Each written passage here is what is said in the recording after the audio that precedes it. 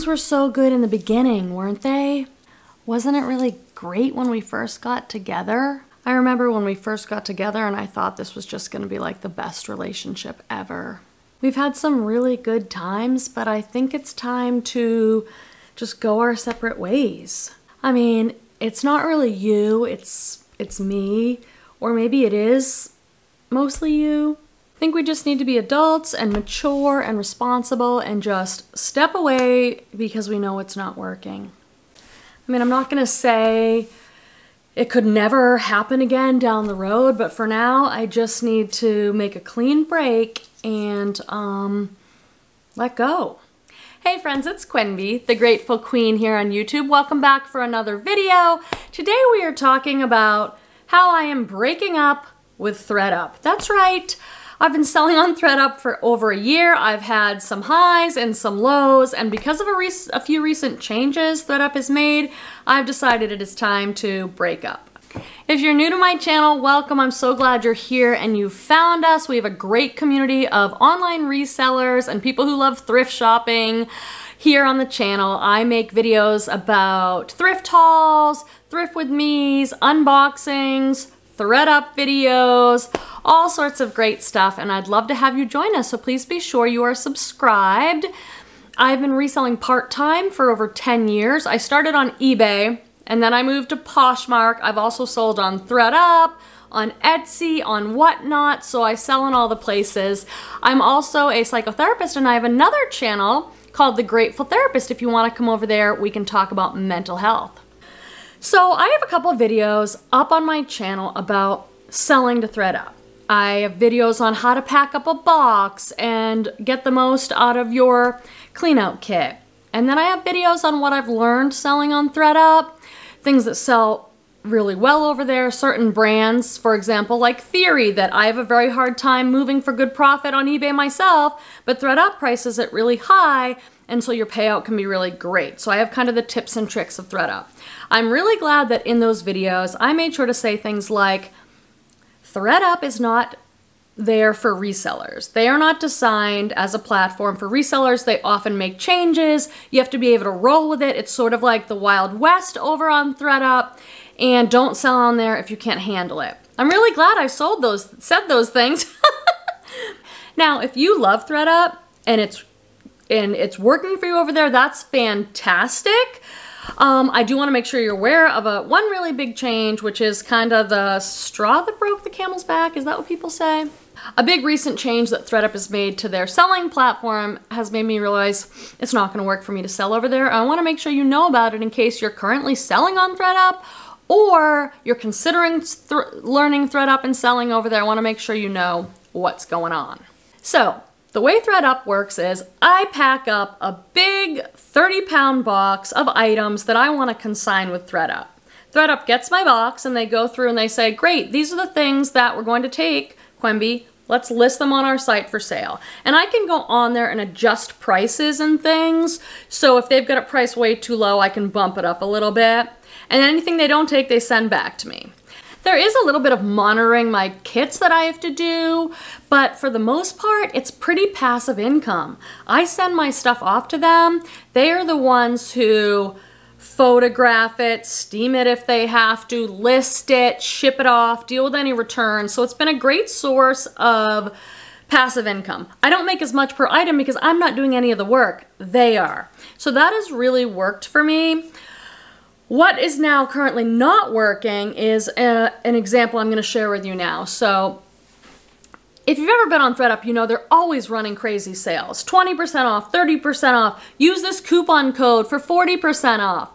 But they always had a rule that said, hey, we're ThredUp. We're the ones running the sale. We're not going to take it out of your profits. That wouldn't be right. The most we're going to take out, of Quenby, is 20%. So if ThredUp is running a 40% off sale. They're only to take out 20% and never more than 20%, even if they're doing a much bigger sale. Does that make sense? I hope it does. Well, I have this item here. And this is a gorgeous top. Good one for you guys to know because it's kind of a bolo. Should I put it up on the screen or is this easier? I think I'll just do it this way. Why not? So this is a gorgeous top that I had up for sale. It was new tags with a $250 price tag on it. The brand is TRYB. I'm not super familiar with that brand or anything, but that's what was on the tag. Gorgeous boho, um, bell sleeve. It had like everything going for it. Well, I had it priced um, at $63.99 and my payout on that brand because it was such a good brand is a 38% payout. That's really high because sometimes um, you don't make that much of a percentage. Well, um, I went to go look at my payouts and it said the price of the top was $24.96.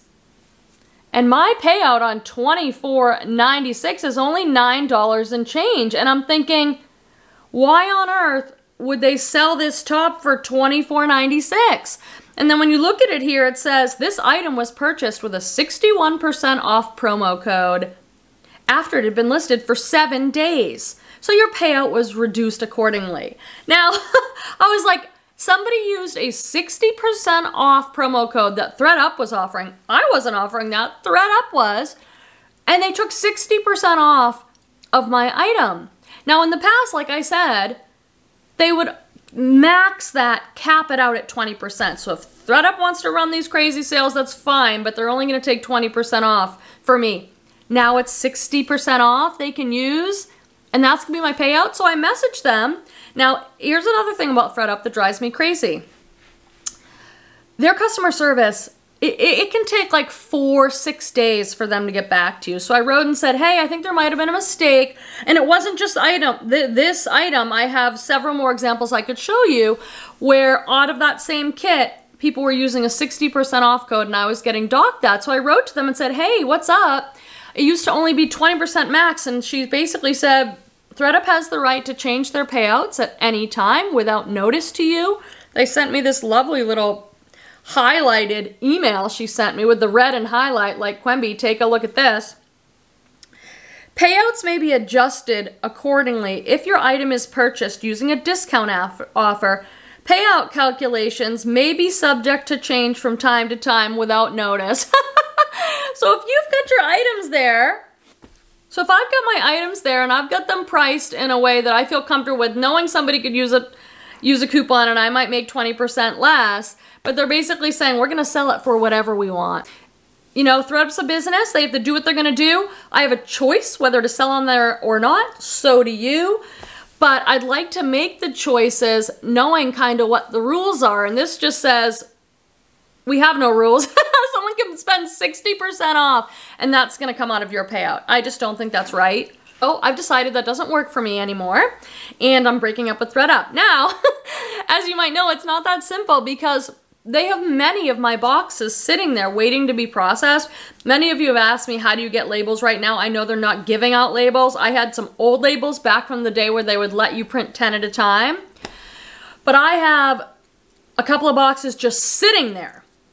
So I, I can't, you can't get those boxes back. I have to wait for those to go through the whole cycle of being listed on their site, seeing what sells, reclaiming what doesn't sell. So I'm kind of stuck for a little while, but I will not be sending in more boxes to ThredUp. I'll leave a little like this as my caveat hands. caveat I'll speak to a little bit later in the video. I have been warned, um, as I've tried to forewarn you, that ThredUp is a little bit crazy. They do what they want. It's a risk to sell over there. But I'm at the part where I'm like slowly backing away. I can't totally get out of the relationship because they still have my stuff. So that's tough. The only thing I was thinking that I might ever send a ThredUp is if I pack boxes of stuff I do not care about whatsoever. Say it's stuff that I get in mystery boxes. I'm talking like your Ann Taylor loft size, extra small, black career skirt. You know, if it's something I'd either donate or try, or maybe send a ThredUp to try to get a dollar or two for, that's the only thing in the future I'll be sending to ThredUp, Stuff that I don't care about whatsoever if I never see it again. And if I can make a few bucks, maybe towards a mystery reseller mystery rescue box, but other than that, I'm not doing it. Now, I have never done partner kits. Partner kits are where you pack up a kit, you send it off to them, and they buy it out immediately what they want from you. They buy it, and then you can earn a gift card. So it's not cash. You could do like an Athleta partner kit, a Reformation partner kit. I've never done that, so I don't know how my issues that I'm having with thredUP would pertain to partner kits. Some people seem to really like those, so you do you. I'm just sharing my experience here. If thredUP works for you, that's fantastic.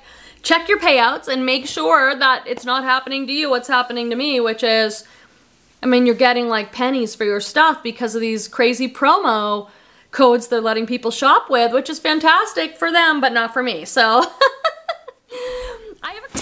so we are in my inventory storage area, aka my garage. Super glamorous, but it works. And I have here a box from thredUP. Gosh, I wish this was a thredUP rescue box. I've not been able to get a rescue box in a while, you guys. They just haven't even had the rescue boxes for sale, so I don't know what's going on up there. These are things that I sent into thredUP, and they accepted them. Said, sure, Quenby, I have this paper all over the house from for every time they send stuff back. So this is stuff that um, they accepted on their site to sell for me, but it didn't sell in their time period, so I had to reclaim it. They've sent it back. This is gorgeous. This is a Michael Kors handbag, and handbags do really well. And handbags have been a final sale. I think of this as more as a, of a summer bag though because it's um, canvas red and white. It looks sort of nautical. Now, I'm not going to send this back to thredUP. Usually I'd get these reclaims and I'd just turn around and send them right back to thredUP again and say, hey, you accepted, you accepted them once, they just didn't sell. But I'm not doing that anymore, friends, because I don't want someone to buy that Michael Kors handbag with a 61% off promo code and have me get nothing. This is J. Crew, and it's the black label, so that's like a better line. And this is so cute. It's an extra small. That's probably why I sent it there. But it's like a heavy knit striped jersey dress. Whenever I list these, I put nautical in the title. Classic, classic uh, item there. Now, I could... My, my thinking now is I'm only going to send things to thredUP that I never want to see again. I don't care if I make any money on, and even then, I don't even know if I want to do it. But that's a possibility. Now I have to list list this. Here's a loft, Ann Taylor loft, size extra small. This is the sort of stuff I used to love to send into them. Just a lace top. I don't really want to list that, but I'm going to have to. It's so sad, thredUP. Oh, this is Pale Sky. Never even heard of Pale Sky. Sometimes I get this stuff back and I'm like, where did this come from? I don't even remember it. This is super cute. Black tank and it's all lace and crochet in the back. This is the sort of stuff I love to send to thredUP because it's an extra small tank. For me to take the time to list that, build a listing, photograph it, what am I gonna make? 10 bucks or something? I'd rather send it to thredUP and have them do all the work and the listing and the shipping and make a dollar or two. This is a Talbot skirt, 100% wool size 12, like a career skirt. I'll list that because it's a size 12 and it's wool. I used to send thredUP all my wool because they priced it high. Um, they used to, they priced silk high, wool high, so it was worth it, but no more. This is BCBG Max Azria, size, one size? That can't be right. I don't know what that says, small or extra small. This is a dry cleaning tag. BCBG Max Azria is one of these brands that I just have a very hard time selling. Do you sell it? Um, but thredUP sells it really well. And this is like a color block sheath dress, so it's nice. This could be a career dress that has this sexy cutout in the chest. It's a sheath if it is just a form-fitting dress that comes down to like your knees or below your knees. Then it is a sheath dress. People mess those up all the time on eBay. I notice in their titles. I'm like, that's not a sheath. There's a shift and a sheath. A sheath is fitted like your classic career dress. A shift is just a throw over lightweight flowy thing. This is the brand Lucy, size medium. Lucy is sold at Nordstrom, places like that. I think the quality is really good but the resale on it has not been great. And this is just a tank, but I still will list that by myself. I'd rather do that than send it to thredUP right now. This, I hate selling career skirts. This is a women's, doesn't even have a brand on it, size 6. Polyester and silk. Um, cute little career skirt. See, I just don't like selling these. They don't sell well for me. And this has no brand. ThredUp will take it if it has no brand. They will not take it if it has no size. So what am I going to do that? Probably donate it because that would be very hard for me to sell. This top is really cute. It is uh, Loft again, which I do not have any luck with. Loft size medium. Kind of a silky peasant blouse, but I love this pop of like lime green chartreuse color. That's really cute. I'll sell it. I wish I had a good buy-sell trade store. Do you guys have one by you? I have Plato's Closet, and I have a couple of videos on trying to sell to them, and they don't take my stuff. I try to send, like, the trendy, young, uh, teenage, young adult stuff, but they, they don't buy my stuff. But I know a lot of you have had good luck with buy-sell trades. Another career skirt by United Colors of Benetton. A brown, straight career skirt. I might just donate it because that brand was hot in the 90s when I was growing up. We had a United Colors of Benetton in my town and oh, it was so expensive and I wanted stuff from there so badly.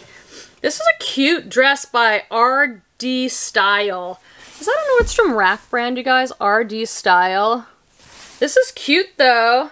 A black long sleeve dress with tears and ruffles. I mean, that's a perfectly cute dress. I'll sell it. So I have several boxes like this that they've sent back to me that I now have to go through and not send a thredUP anymore, but sell it myself. Wah, wah, wah. Some of this stuff is not worth my time, is it? I'm so sad. I'm so sad about the thredUP relationship. I have to grieve. I have to grieve the end of the relationship, clearly. Okay, I ended up with a few more sold, so why not tell you about them? These these are a pair of Talbot's women's jeans. They were in a plus size 16. And I tried to sell those on Whatnot in two shows for like $3, $5. And no one bought them. And I listed them and they sold right away. These are a pair of Who What Wear uh, flannel wide leg pants. They were so cool. And this is that pair of Athleta leggings that I showed in my last video I bought on Whatnot. I bought them for 8 bucks and they sold for 30 bucks right away. I'll show you my little Christmas display since we're out here. You guys know I love my vintage thrifted stuff. Kind of hard with this tripod. Let me show you this little basket I got. I'm the worst filmer ever. Is that better?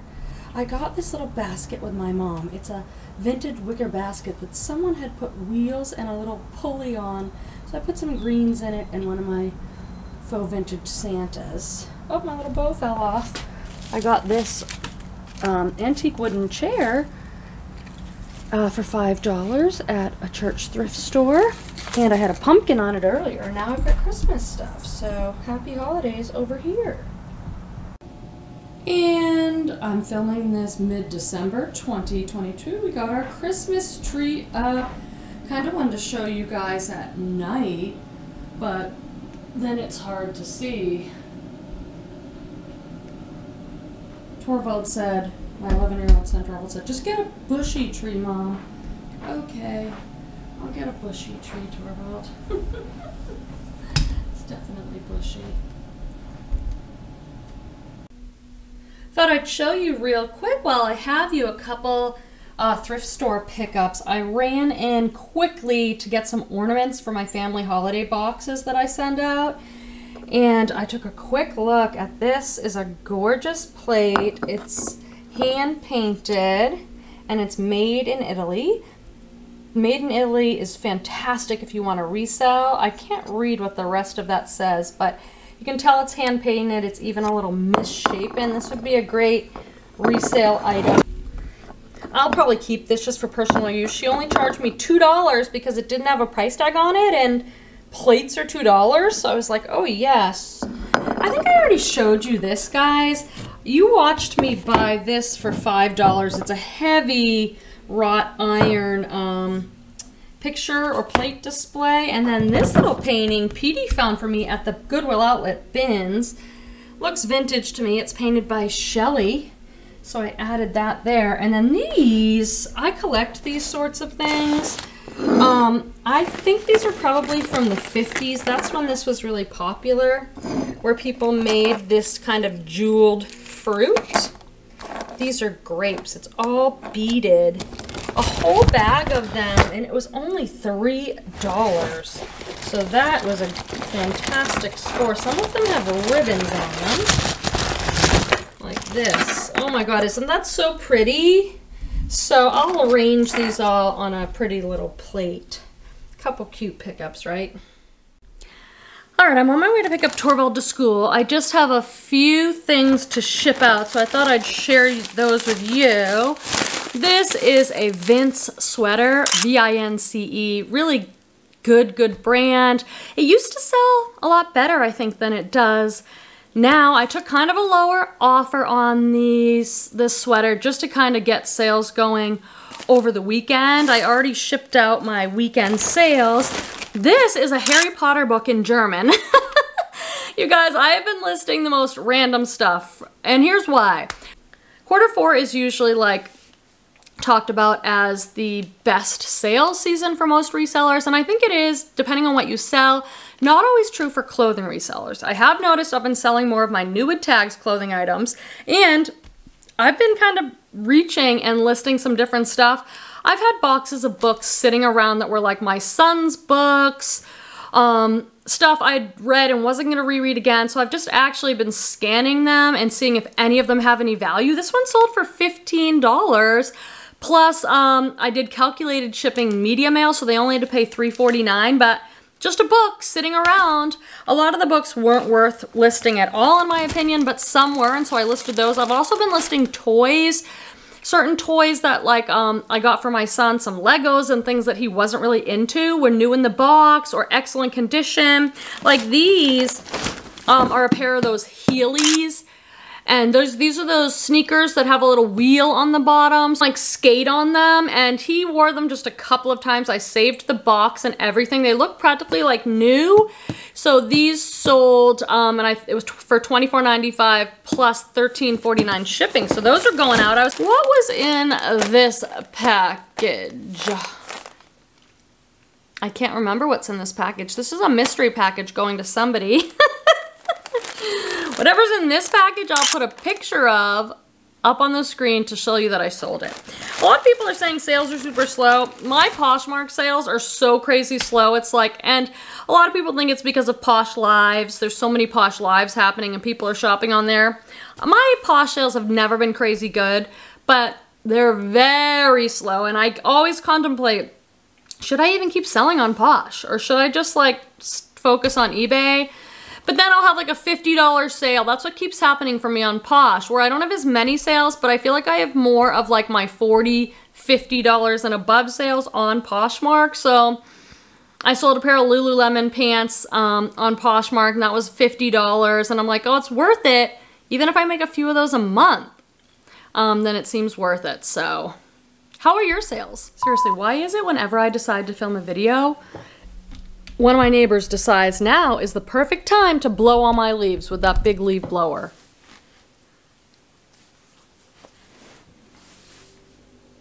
So I do have some monitoring of kits I have to do where I see if something sold, if it didn't sold. Mm, this is getting like, not labor intensive, but there's a lot of words. Why is he doing the leaf blowing at this exact second? How long does it take to blow your leaves? Okay, let me get...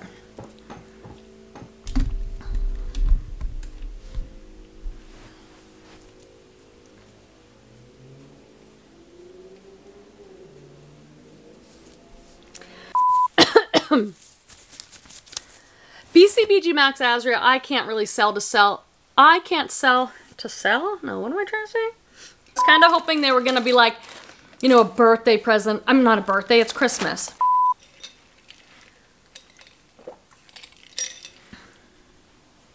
So, ooh, what the heck happened there? Jeez. One, quarter four is historically like the best um, be helpful if you could say some words right now. So you can like slide and slip? No. Rock and roll? No. What can you do with them?